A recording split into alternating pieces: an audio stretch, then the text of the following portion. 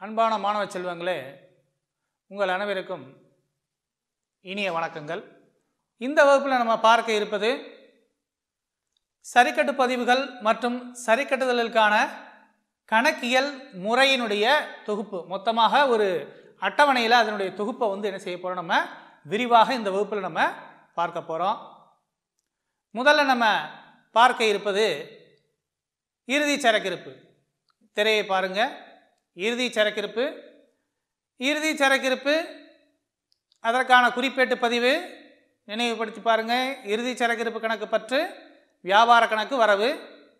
இது வியாபார கணக்கு அல்லது லாபண்ட கணக்கில் எவ்வாறு தோன்றும் இருப்பு நிலை குறிப்பில் எவ்வாறு தோன்றும்ங்கிறத அட்டவணையில் கொடுத்துருக்காங்க. சரி கட்டுதல்ங்கிற அட்டவணையில் கொடுத்துருக்காங்க. இறுதி சரக்கிருப்பு என்பது வியாபார கணக்கினுடைய வரவு பக்கத்தில் காண்பிக்கப்படும். இருப்புநிலை குறிப்பில் நடப்பு சொத்தாக சொத்துக்கள் பக்கத்தில் காண்பிக்கப்படும். ரெண்டாவது பார்க்க இருப்பது கொடுபட வேண்டிய செலவுகள். கொடுபட வேண்டிய செலவுகளுக்கான சரிக்கட்டு பதிவு உரிய செலவு கணக்கு பற்று உரிய கொடுபட வேண்டிய செலவு கணக்கு வரவு. இப்போ மறைமுக செலவுனா ஒரு உதாரணம் சம்பளம்னு வச்சுக்கிருவோம். சம்பள கணக்கு பற்று கொடுபட வேண்டிய சம்பள கணக்கு வரவு. அப்போ எந்த செலவு அப்படி என்பதை பொறுத்து அது வியாபார கணக்கிலோ அல்லது லாவண்ட கணக்கிலோ அது தோன்றும். இப்போ வியாபார கணக்கு அல்லது லாபண்ட கணக்கில் எவ்வாறு தோன்றும்? நேர்முக செலவாக இருந்தால் கொடுவிட வேண்டிய செலவை உரிய செலவினத்துடன் கூட்டி காண்பிக்க வேண்டும். வியாபாரத்துடைய பற்று பக்கத்தில் இப்போ உதாரணமாக கூலின்னு சொன்னோம் இல்லையா? கூலி என்பதை கொடுவிட வேண்டிய கூலியோடு என்ன செய்ய வேண்டும்? கூட்டி காண்பிக்க வேண்டும். கூலியுடன் கொடுவிட வேண்டிய கூலியை கூட்டி காண்பிக்க வேண்டும். இப்போ மறைமுக செலவாக இருந்தால் உதாரணம் சம்பளம். சம்பள கணக்குடன் கொடுவிட வேண்டிய சம்பளத்தை என்ன செய்ய வேண்டும் நம்ம லாபண்ட கணக்குடைய பற்று பக்கத்தில் கூட்டி காண்பிக்க வேண்டும். நேரடி செலவாக இருந்தால் வியாபார கணக்கில் பற்று பக்கத்தில் இடம்பெறும். மறைமுக செலவாக இருந்தால் லாபண்ட கணக்குடைய பற்று பக்கத்தில் இடம்பெறும். நல்லா நினைவில் வச்சுக்கிறணும் அடுத்து இருப்புநிலை குறிப்பில் பொறுப்புகள் பக்கத்தில் நடப்பு பொறுப்பாக காட்டப்படும். கொடுவிட வேண்டிய கூலி கொடுவிட வேண்டிய சம்பளம் என்று நடப்பு பொறுப்பாக இது காட்டப்படும். அடுத்து நம்ம பார்க்க இருப்பது முன்கூட்டி செலுத்திய செலவுகள். இப்போ முன்கூட்டி செலுத்திய செலவுகளுக்கு என்ன உதாரணம் சொல்லலாம்? காப்பீட்டு முனைமம் அப்போ பதிவு எப்படி இருக்கும்? முன்கூட்டி செலுத்திய செலவு கணக்கு பற்று உரிய செலவு கணக்கு வரவு.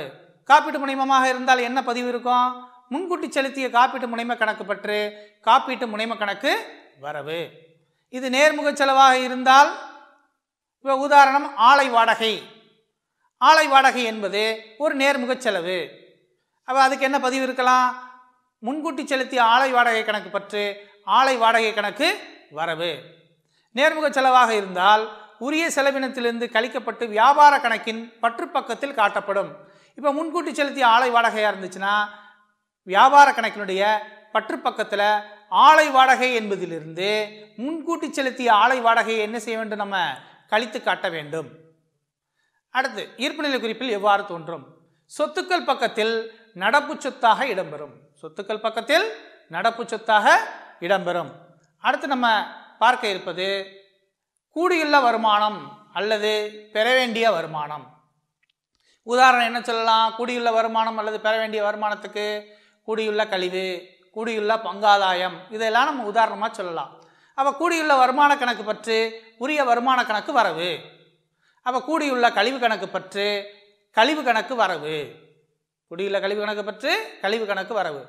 லாபண்ட கணக்கில் எவ்வாறு தோன்றும்? லாபண்ட கணக்கில் வரவு பக்கத்தில் தோன்றியும். உரிய வருமானத்தோடு என்ன செய்யணும் நம்ம லாபண்ட கணக்கில்? வரவு பக்கத்தில் கூட்டி காண்பிக்க வேண்டும். இப்போ கூடியுள்ள கழிவுன்னு சொன்னோம் இல்லையா? அப்போ வரவு பக்கத்தில் பெற்ற கழிவுடன் கூடியுள்ள கழிவை வரவு பக்கத்தில் கூட்டி காண்பிக்க வேண்டும். சொத்துக்கள் பக்கத்தில் நடப்பு சொத்தாக இது இடம்பெறும். அடுத்ததாக நம்ம பார்க்க இருப்பது முன்கூட்டி பெற்ற வருமானம். முன்கூட்டி பெற்ற வருமானம் என்பது என்ன?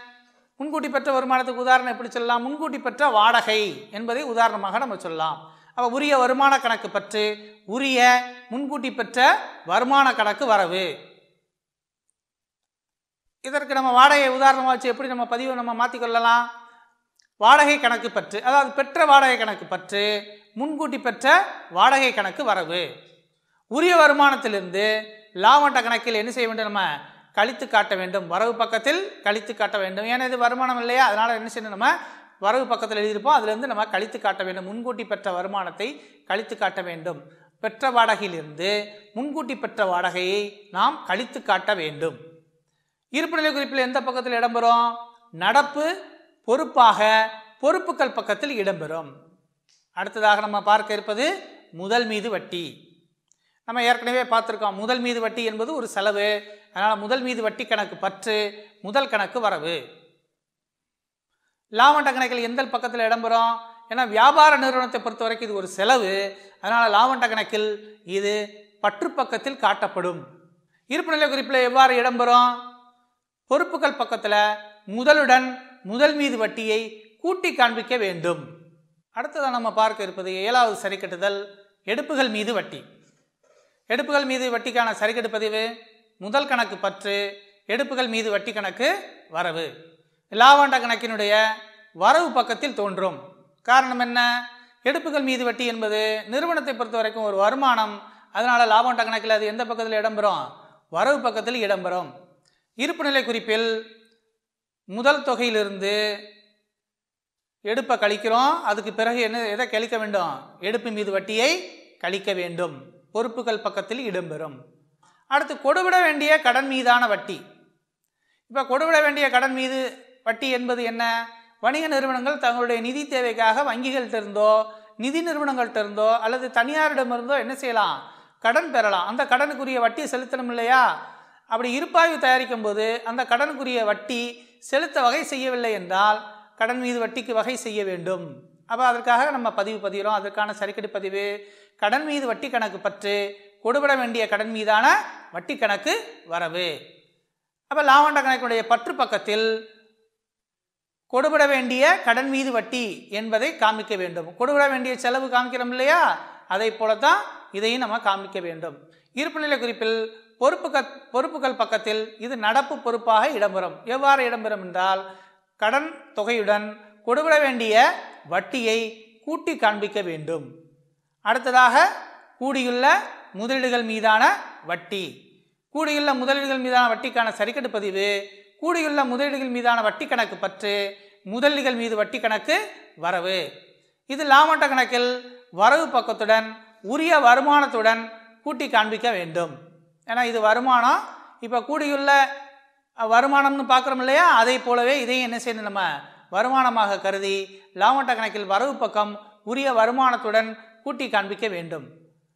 இருப்புநிலை குறிப்பில் சொத்துக்கள் பக்கத்தில் இடம்பெறும். நடப்பு சொத்தாக இது இடம்பெறும். கூடியுள்ள முதல்கள் மீதான வட்டி இருப்புநிலை குறிப்பில் நடப்பு சொத்தாக சொத்துக்கள் பக்கத்தில் இடம்பெறும். அடுத்ததாக நம்ம பார்க்க இருப்பது தேய்மானம்.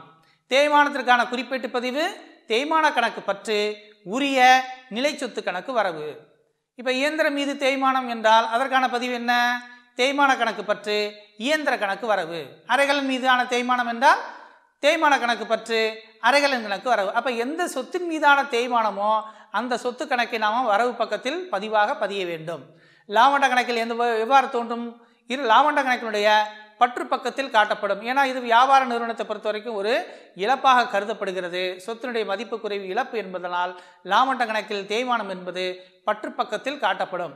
இருப்புநிலை குறிப்பில் சொத்துக்கள் பக்கத்தில் உரிய நிலை சொத்திலிருந்து தேய்மான தொகையை நாம் கழித்து காட்ட வேண்டும். அடுத்ததாக நம்ம பார்க்க இருப்பது வாராக்கடன் வாராட வாராக்கடனுக்கான சரிகடு பதிவு வாராக்கடன் கணக்கு பற்று பற்பல கடனாளிகள் கணக்கு வரவு. இப்போ வாரா ஐய கடன் ஒதுக்கு கணக்கு என்ற ஒரு கணக்கை நம்ம பராமரிக்கலைன்னா வாராக்கடன் கணக்கை நேரடியாக நம்ம லாபண்ட கணக்கில் பற்று பக்கத்தில் நம்ம எழுதிடலாம். பற்று பக்கத்தில் நம்ம காட்ட வேண்டும். வாரா ஐய கடன் ஒதுக்கு கணக்கு என்ற ஒரு கணக்கு பராமரித்தால் வாரா கடனை வாரா ஐய ஒதுக்கு கட ஐய கடன் ஒதுக்கு கணக்கிற்கு என்ன செய்ய வேண்டும் நம்ம? மாற்ற வேண்டும்.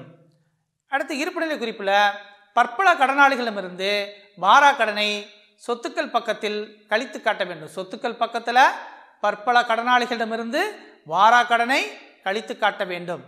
அடுத்ததாக பார்க்க இருக்கக்கூடிய சரிக்கட்டு வாரா ஐயக்கடன் ஒதுக்கு. வாரா ஐயக்கடன் ஒதுக்குக்கான சரிக்கட்டு பதிவு லாபண்ட கணக்கு பற்று வாரா ஐய ஒதுக்கு கடன் வாரா ஐய கடன் ஒதுக்கு கணக்கு வரவு. லாபண்ட கணக்கினுடைய பற்று பக்கத்தில் காட்டப்படும்.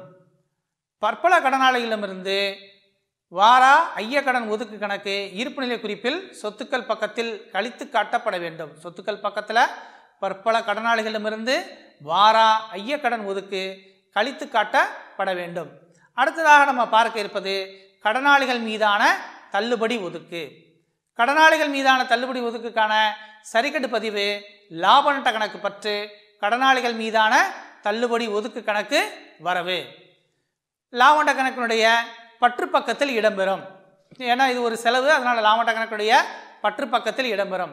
இருப்புநிலை குறிப்பில் சொத்துக்கள் பக்கத்தில் பற்பல கடனாளிகளிடமிருந்து கடனாளிகள் மீதான தள்ளுபடி ஒதுக்கை கழித்து காட்ட வேண்டும். அடுத்து வருமான வரி செலுத்தியது. இப்போ வருமான வரிங்கிறது என்ன அப்படின்னு பார்த்தோம்னா தனியார் வணிகர் ஈட்டக்கூடிய வ தொழிலிருந்து ஈட்டக்கூடிய வருமானம் அவருடைய சொந்த வருமானமாக கருதப்படுகிறது.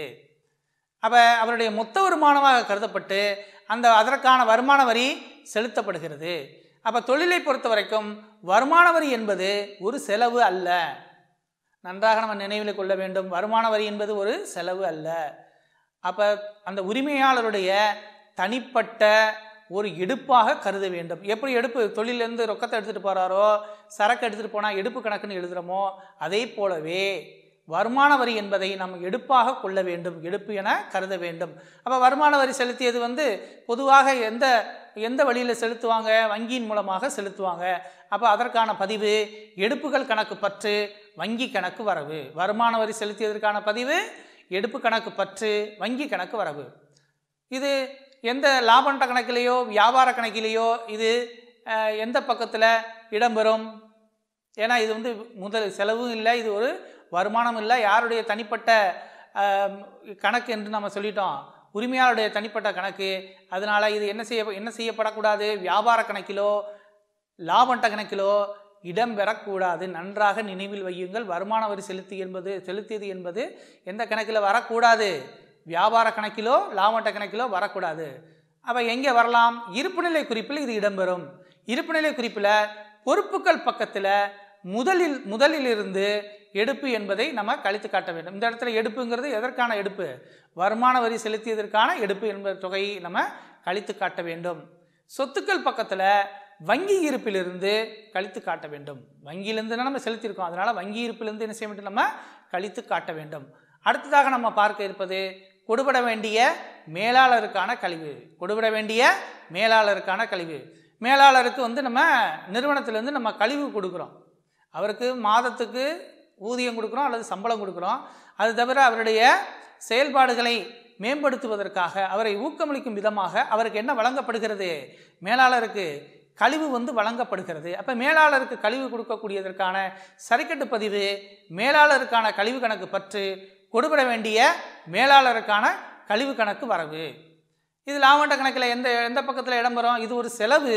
அதனால் லாபண்ட கணக்கில் பற்று பக்கத்தில் இடம்பெறும். இது பொறுப்புகள் பக்கத்தில் நடப்பு பொறுப்பாக இது காட்டப்படும். கொடுபட வேண்டிய மேலாளருக்கான கழிவு கணக்கு என்பது எப்படி நம்ம கொடுபட வேண்டிய கூலி கொடுபட வேண்டிய சம்பளம் என்பதை நம்ம நடப்பு பொறுப்பாக கருதுகிறோமோ அதே போலவே கொடுபட வேண்டிய மேலாளருக்கான கல்வி என்பது நடப்பு பொறுப்பாக பொறுப்புகள் பக்கத்தில் காட்டப்படும். கடன் மீதான வட்டிக்கு ஒரு கணக்கு நம்ம பார்ப்போமா? இப்போ திரையை பாருங்கள் அந்த கணக்கு திரையை பாருங்கள் ரெண்டாயிரத்தி பதினேழு டிசம்பர் முப்பத்தி ஒன்று நாளைய வருவிக்கப்பட்ட இருப்பாய்வு கீழே கொடுக்கப்பட்டுள்ளது. கடன் கணக்கு முதல் வரியை பாருங்கள் கடன் கணக்கு ஆண்டுக்கு பன்னிரெண்டு சதவீதம். வரவில் எவ்வளோ கொடுத்துருக்காங்க? ஐந்து லட்சம். அடுத்த வரியில் பாருங்கள் கடன் மீது வட்டி பற்றில் எவ்வளோ கொடுத்துருக்காங்க? நாற்பத்தி ஐயாயிரம். கடன் மீது வட்டி நாற்பத்தி ஐயாயிரம்னா என்ன பொருள் இந்த இடத்துல? அஞ்சு லட்ச ரூபா வாங்கினதுக்கு எவ்வளோ ரூபா வட்டி செலுத்திருக்காங்க இது வரைக்கும்? நாற்பத்தையாயிரரூபா வட்டி செலுத்தியிருக்காங்க இப்போ சரி கட்டுதல். கடன் மீது வட்டி மூன்று மாதங்களுக்கு கொடுபடாமல் உள்ளது. கடன் மீது வட்டி மூன்று மாதங்களுக்கு கொடுவிடாமல் உள்ளது. இப்போ நம்ம முதல்ல கண்டுபிடிக்க வேண்டியது கொடுபட வேண்டிய கடன் மீதான வட்டி எவ்வளவுங்கிறத கண்டுபிடிக்கணும். முதல்ல நம்ம கண்டுபிடிக்க வேண்டியது கொடுவிட வேண்டிய கடன் மீதான வட்டி எவ்வளவுங்கிறத நம்ம இப்போ நம்ம கண்டுபிடிக்க போகிறோம் கொடுவிட வேண்டிய கடன் மீதான வட்டி எத்தனை மாதத்துக்கு வட்டி கொடுக்காம இருக்காங்களாம் மூன்று மாதங்களுக்கு வட்டி கொடுக்காம இருக்காங்களாம் இப்போ மூன்று மாதங்களுக்கான கொடுவிட வேண்டிய கடன் மீதான வட்டி என்ன செய்ய போகிறோம் இப்போ நம்ம கண்டுபிடிக்க போகிறோம் எவ்வளோ நம்ம தொகை தொகை கடன் கடன் வாங்கியிருக்கோம்? அஞ்சு லட்ச ரூபாய் நம்ம கடன் வாங்கியிருக்கோம். ஆண்டுக்கு எத்தனை சதவீதம் வட்டி முதல் வரியிலே பாருங்க கொடுத்துருக்காங்க பாருங்க. ஆண்டுக்கு எத்தனை சதவீதம் வட்டி? பன்னிரெண்டு சதவீதம் வட்டி. ஆண்டுக்கு எத்தனை சதவீதம் வட்டி? பன்ன பன்னிரெண்டு சதவீதம் வட்டி. அப்போ எடுத்து எழுதும்போது இப்படி எழுதிக்கிருவோம். அஞ்சு லட்ச ரூபா நம்ம வாங்கியிருக்கோம். ஐந்து லட்சம் இன்ட்டு. எத்தனை சதவீதம் வட்டி? பன்னிரெண்டு சதவீதம் வட்டி. அப்போ பன்னிரெண்டு சதவீதம்னா எப்படி எழுதணும் நம்ம? பன்னிரெண்டு பை நூறு என்று எழுத வேண்டும். பன்னிரெண்டு சதவீதம் வட்டினா எப்படி எழுதணும் நம்ம? நூறு சதவீதம்னா நூறுன்னு நம்ம எழுதணும். பன்னிரெண்டு சதவீதம் வட்டி. இப்போ எத்தனை மாதங்களுக்கு வட்டி கொடுக்காம கொடுக்கப்படாமல் இருக்குது மூன்று மாதங்களுக்கு வட்டி கொடுபடாமல் உள்ளது. சரிக்கட்டில் எத்தனை கொடுத்துருக்கு? மூன்று மாதங்களுக்கு வட்டி கொடுபடாமல் உள்ளது. மூன்று மாதங்கள்னால் மூணு பை பன்னிரெண்டு என எழுதி கொள்ள வேண்டும். ஏன் பன்னெண்டுன்னு எழுதணும்? ஒரு வருடத்திற்கு எத்தனை மாதங்கள்? பன்னிரெண்டு மாதங்கள். ஆகவே மூன்று மாதங்களுக்கு வட்டி கொடுபடாமல் உள்ளதுன்னா மூன்று பை பன்னிரெண்டுன்னு என்ன செய்ய நம்ம எழுதி கொள்ள வேண்டும். இப்போ தொகையை கண்டுபிடிச்சிடலாமா? பாருங்கள் ரெண்டு சைவருக்கு ரெண்டு சைவர் அடங்கி அடிச்சிடறோம். அடுத்து பாருங்கள் இந்த பன்னிரெண்டுக்கு பன்னிரெண்டு அடிச்சிடறோம். மீதி என்ன தொகை இருக்குது எடுத்து எழுதிக்கலாம். ஐயாயிரம் இன்ட்டு மூணு. பெருக்கலாமா இந்த முழு தொகை முதல்ல பெருக்குங்க. ஐந்து இன்ட்டு மூணு எவ்வளவு? பதினஞ்சு. பதினைந்தாயிரம். அப்போ மூன்று மாதங்களுக்கு கொடுவிட வேண்டிய கடன் மீதான வட்டிக்கான தொகையை கண்டுபிடிச்சிருக்கோம். மூன்று மாதங்களுக்கு கொடுவிட வேண்டிய வட்டிக்கான தொகையை வந்து என்ன செஞ்சுருக்கோம் நம்ம? இப்போ நம்ம கண்டுபிடிச்சிட்டோம். இப்போ இதற்கான சரிக்கட்டு பதிவு நம்ம செய்யணும். அதற்கடுத்ததாக இது லாமண்ட கணக்கில் எவ்வாறு இடம்பெறும்? இருப்பு நிலை குறிப்பில் எவ்வாறு இடம்பெறும் என்பதை என்ன செய்யலாம் நம்ம? இப்போ நம்ம பார்த்துடலாம். சரிக்கட்டு பதிவுங்கிறது குறிப்பேடு பதிவு தான். அதனால் அந்த படிவத்தின்படியே நம்ம எழுதணும். நாள் விவரம் பேரேட்டு பக்க எண் பற்று வரவு. இப்போ கொடுவிட வேண்டிய கடன் மீதான வட்டிக்கு சரிகடு பதிவு எழுத போகிறோம் மூன்று மாதங்களுக்கான கொடுவிட வேண்டிய கடன் மீதான வட்டிக்கு சரிகடு பதிவு எழுத போகிறோம் எந்த வருஷம் முதல்ல நாளுங்கிறதுல வருஷத்தை எழுதிக்கிருவோம் ரெண்டாயிரத்தி பதினேழு. எந்த மாதம்? டிசம்பர் முப்பத்தி முப்பத்தி ஒன்று டிசம்பர் முப்பத்தி ஒன்று கொடுபட வேண்டிய கடன் மீதான வட்டிக்கு பதிவு சொல்லுங்கள் நினைவுபடுத்தி சொல்லுங்கள் கடன் மீதான வட்டி கணக்கு பற்று கொடுவிட வேண்டிய கடன் மீதான வட்டி கணக்கு வரவு. அப்போ பதிவு கடன் மீது வட்டி கணக்கு பற்று கடன் மீது வட்டி கணக்கு பற்று கொடுபட வேண்டிய கடன் மீது வட்டி கணக்கு வரவு. கொடுபட வேண்டிய கடன் மீது வட்டி கணக்கு வரவு. எவ்வளோ ரூபா கண்டுபிடிச்சிருக்கோம் நம்ம? பதினஞ்சாயிரம் கண்டுபிடிச்சிருக்கோம் இல்லையா? அந்த பதினஞ்சாயிரத்தை எழுதணும். பற்றில் பதினஞ்சாயிரம் வரவில் பதினைந்தாயிரம். கொடுவிட வேண்டிய கடன் மீதான வட்டி குறித்த பதிவு. கொடுவிட வேண்டிய கடன் மீது வட்டி. கொடுவிட வேண்டிய கடன் மீது வட்டி. சரி கட்டப்பட்டது. இல்லைன்னா வட்டி குறித்த பதிவு.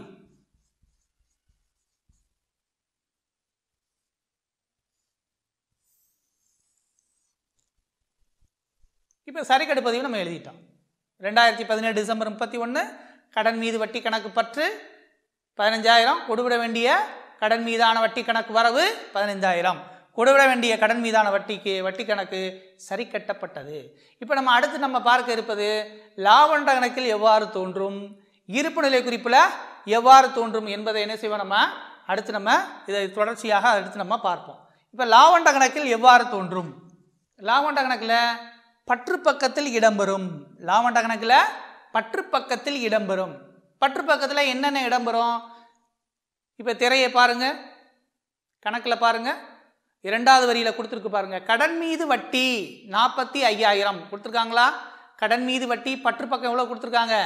நாற்பத்தி ஐயாயிரம். இருப்பாய்வில் கொடுத்துருக்கக்கூடிய விவரம் கடன் மீது வட்டி நாற்பத்தி ஐயாயிரம். இப்போ சரி கட்டுதலில் நம்ம. கடன் மீது வட்டி மூன்று மாதங்களுக்கு கொடுபடாமல் உள்ளதுங்கிற தொகையை கண்டுபிடிச்சிட்டோம். பதினஞ்சாயிரம் கண்டுபிடிச்சிட்டோம்.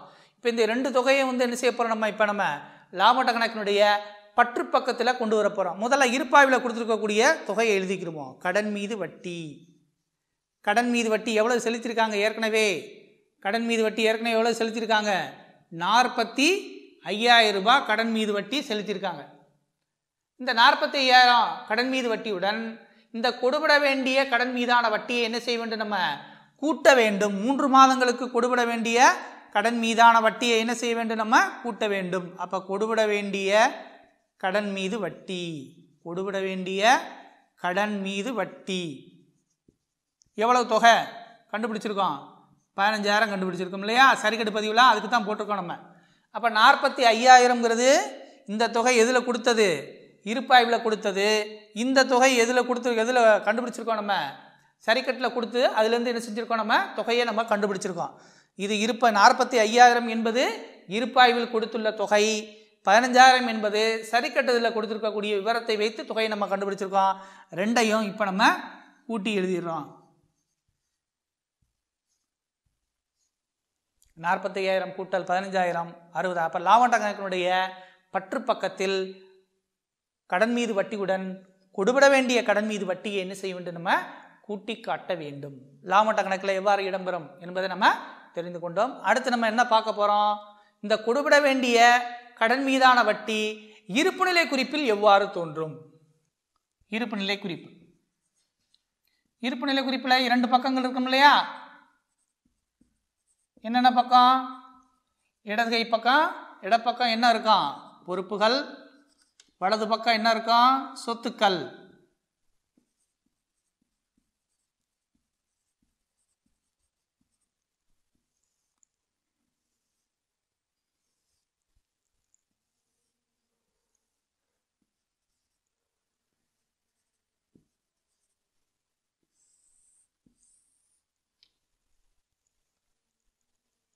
இப்போ திரையை பாருங்க. கடன் கணக்கு முதல் வரியில் கொடுத்துருக்கு பாருங்கள் கடன் கணக்கு ஆண்டுக்கு பன்னிரெண்டு சதவீதம் ஐந்து லட்சம்னு வரவில் கொடுத்துருக்கு இல்லையா?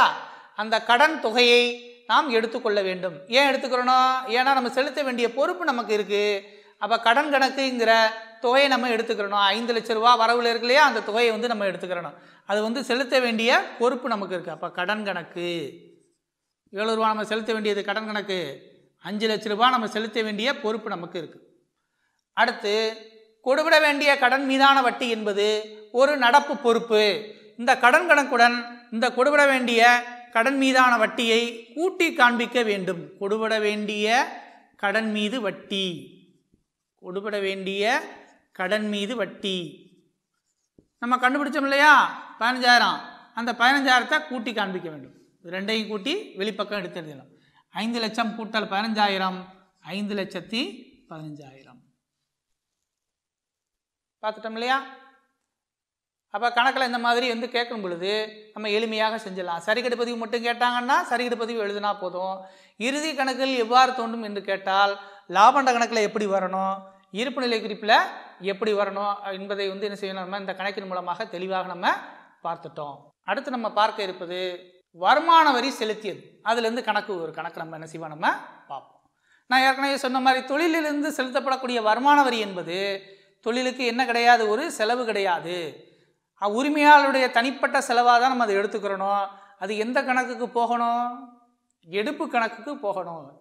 எப்படி ரொக்கத்தை எடுத்துகிட்டு போனார்னா சரக்கு எடுத்துகிட்டு போனார்னா எடுப்பு கணக்குன்னு எழுதுகிறோமோ அதே போல் வருமான வரி செலுத்தி இருந்தால் அதை எந்த கணக்கில் எழுத வேண்டும்? எடுப்பு கணக்கில் எழுத வேண்டும். இப்போ உதாரணம் திரையில் பாருங்க உதாரணத்தை பாருங்க.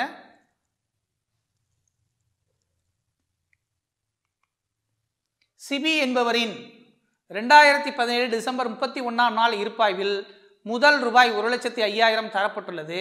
வங்கி கணக்கில் எண்பதாயிரம் உள்ளது. சரிக்கட்டுதல் வருமான வரி செலுத்தியது பதினைந்தாயிரம். சரிக்கட்டு பதிவு பின்வருமாறு. இப்போ வருமான வரி செலுத்தியதற்கான சரிக்கட்டு பதிவு நம்ம என்னங்கிறத என்ன செய்ய போகிறோம் பார்க்க போகிறோம் அடுத்து இது இருப்புநிலை குறிப்பில் எவ்வாறு தோன்றும் என்பதை என்ன செய்ய போகிறோம் நம்ம? இப்போ நம்ம இந்த கணக்கின் மூலமாக நம்ம என்ன செய்ய போகிறோம் இப்போ நம்ம பார்க்க போகிறோம் வருமான வரி செலுத்தியதற்கான சரிக்கட்டு பதிவு எடுப்புகள் கணக்கு பற்று வங்கி கணக்கு வரவு. ரெண்டாயிரத்தி பதினேழு டிசம்பர் முப்பத்தி ஒன்று எடுப்பு கணக்கு பற்று. இந்த எடுப்பு கணக்குங்கிறது என்ன? வருமான வரி செலுத்தியிருக்கோம். அதனால் நம்ம எடுப்பு கணக்கு பற்றுன்னு எழுதியிருக்கோம். அப்போ எடுப்பு கணக்கு பற்று வங்கி கணக்கு வரவு. வங்கி கணக்கு வரவு. தொகை எவ்வளவு? பதினஞ்சாயிரம் எடுப்பு கணக்கு பற்று பதினைந்தாயிரம். வங்கி கணக்கு வரவு பதினைந்தாயிரம். விளக்கம் என்ன எழுதிக்கலாம்? விளக்க குறிப்பு. வருமான வரி செலுத்தியது. வருமான வரி செலுத்தியது.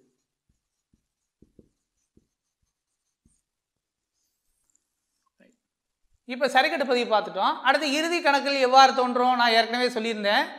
இது வியாபார கணக்கிலோ லாபண்ட கணக்கிலோ வருமா வருமான வரி? வருமான வரி என்பது தொழிலுக்கான வரி அல்ல. எனவே எந்த கணக்கில் வராது? வியாபார கணக்கிலும் வராது லாபண்ட கணக்கிலும் வராது. யாருடைய தனிப்பட்ட செலவுன்னு சொல்லிட்டோம்? உரிமையாளருடைய தனிப்பட்ட செலவு என்பது எனவே இது எந்த கணக்கில் நேரடியாக வரும்?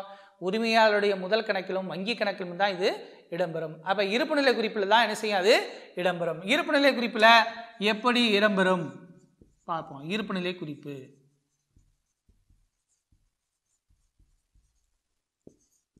இருப்பு நிலை குறிப்பில் பொறுப்புகள் பக்கம் சொத்துக்கள் பக்கம்.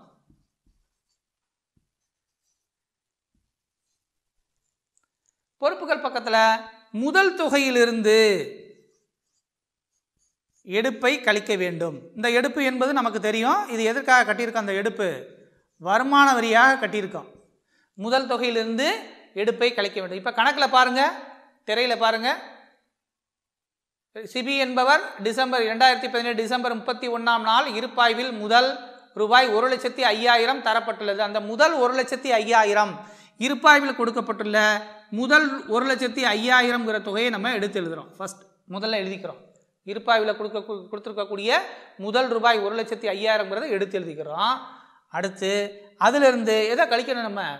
வருமான வரியை கழிக்கணும். வருமான வரிங்கிறது பாருங்கள் மூணாவது வரியில் கொடுத்துருக்கு பாருங்கள் சரி கட்டுதல். வருமான வரி செலுத்தியது பதினைந்தாயிரம். இந்த பதினஞ்சாயிரத்தை கழிக்கணும். ஒரு லட்சத்தி ஐயாயிரத்துலேருந்து பதினஞ்சாயிரத்தை கழிச்சிருங்க. ஒரு லட்சத்தி ஐயாயிரத்துலேருந்து பதினஞ்சாயிரத்தை கழிச்சா எவ்வளவு? மூணு சைபருக்கு மூணு சைபர். அஞ்சில் அஞ்சு போனால் சைபர். பத்தில் ஒன்று போக ஒன்பது. எவ்வளோ ரூபா? தொண்ணூறாயிரம். அப்போ பொறுப்புகள் பக்கத்தில் முதல் தொகையிலிருந்து எடுப்பு தொகையை நாம் கழித்து காட்ட வேண்டும். தொண்ணூறாயிரம். சொத்துக்கள் பக்கத்தில் எங்கு இடம்பெறும்? வங்கி கணக்கிலிருந்து வருமான வரியை கழித்து காட்ட வேண்டும். இப்போ வங்கியில் ரொக்கம். இருப்பு கொடுத்துருக்கு பாருங்கள் இருப்பாய்வில் கொடுத்துருக்கு பாருங்கள் முதல் வரியிலேயே வங்கி கணக்கில் எண்பதாயிரம் உள்ளது. அப்போ வங்கி கணக்கில் எண்பதாயிரம் உள்ளது. இருப்பாய்வில் கொடுத்துருக்கக்கூடிய எண்பதாயிரத்தை எழுதிட்டோம். வருமான வரி வங்கியினுடைய இருப்புலேருந்து தான் எடுத்து செலுத்தியிருக்கோம். எவ்வளோ ரூபா வருமான வரி செலுத்தியிருக்கோம் பதினஞ்சாயிரம் எடுத்து செலுத்தியிருக்கோம் அப்போ மீதி தொகை அறுபத்தி ஐயாயிரம் வங்கியில் இருப்பாக இருக்கும். பொறுப்புகள் பக்கத்தில் முதல் கணக்கிலிருந்து எடுப்புகளை கழித்து காட்டிட்டோம். சொத்துக்கள் பக்கத்தில் வங்கியிலிருந்து வருமான வரியை அதாவது எடுப்பை நம்ம கழித்து காட்டியிருக்கிறோம். இதுவரை நம்ம சரி கட்டுதல்கள் சரிக்கட்டு பதிவுகள் சரிக்கட்டு பதிவுகளுடைய தொகுப்பு ஒட்டுமொத்தமாக இந்த வகுப்பில் நம்ம பார்த்து முடிச்சிருக்கோம். மாணவர்கள் அனைவருக்கும் என்னுடைய நன்றி வணக்கம்.